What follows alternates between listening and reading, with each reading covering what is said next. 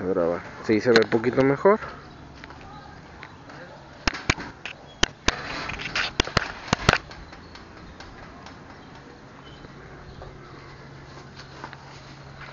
Y